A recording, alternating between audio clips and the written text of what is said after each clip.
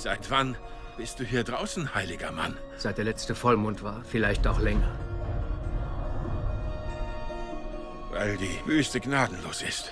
Sie nimmt dir deine Selbstgefälligkeit, deine Illusionen und gibt dir die Möglichkeit, dich selbst im richtigen Licht zu sehen. Jemand wie du ist niemals allein. Ihr habt immer irgendeinen Geist oder sowas um euch. Ich habe Wasser für dich, Jeshua.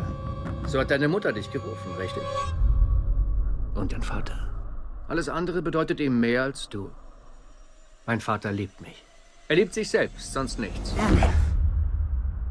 Oh, welcher Zorn. Du bist deines Vaters Sohn. Du bist ein leichtes Ziel. Wie alle schwach. Du vergeudest deine guten Vorsätze hier. Sie brauchen uns nicht, um sich zugrunde zu richten. Das machen sie schon selbst. Und das, was er von dir erwartet.